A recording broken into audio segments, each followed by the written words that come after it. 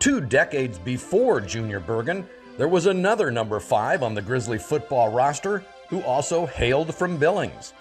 Quarterback John Edwards from Billings West High School sparked the Grizzlies to 14 straight victories in 2001 en route to the championship.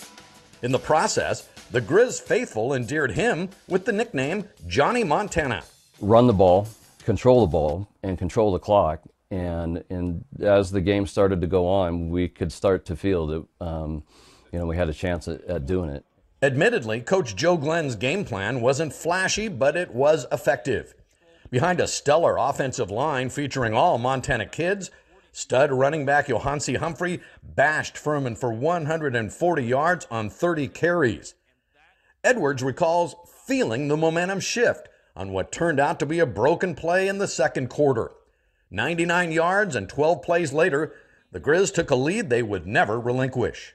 It really starts with that that drive that we were talking about and uh, broken play and uh, again able to squeeze out eight yards or whatever it was and you could feel the momentum start to turn a little bit. Um, coach cockhill did a really nice job of getting uh, myself into a rhythm by a couple of short easy passes to uh, pick up your confidence and get moving and then after that uh, we really relied on that offensive line on the other side of the ball, the Grizz defense, led by All American safety Vince Huntsberger, came within a tip pass of pitching a shutout in the title game.